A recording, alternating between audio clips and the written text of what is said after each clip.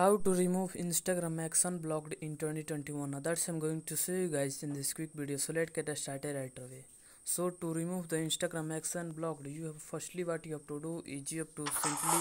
uh, log out from your instagram account. So what you have to do is when you are on the home page click on your profile icon in the bottom right corner. And when you are on the profile page you have to click on the three horizontal lines in the top right corner and then click on the settings in the top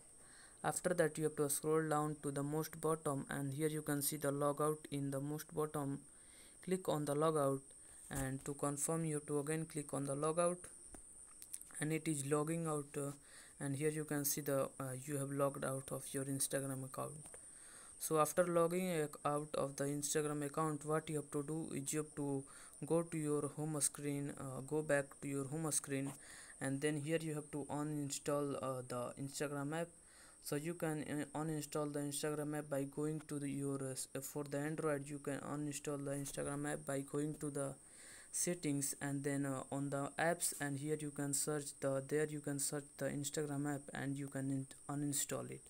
But for the ios user what you can do is you can when you long hold the instagram app then it will be dancing and then you can see the fridge option and then you can delete it so after deleting the instagram app on uh, so what you have to do is you have to go to your play store and then search for the any of the vpn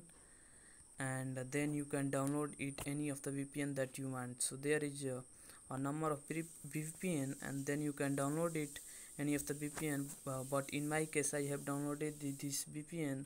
so to do to uh, you have to simply open the vpn that you have installed and then you have to click on the connect uh, uh, there is a, when you install uh, another vpn then there is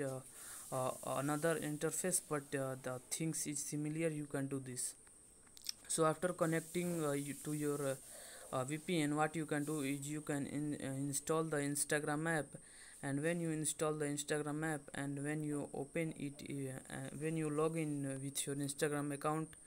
and uh, open it then it will uh, say that uh, you can see the uh, instagram action block is removed.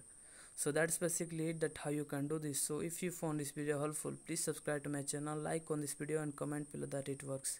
I appreciate that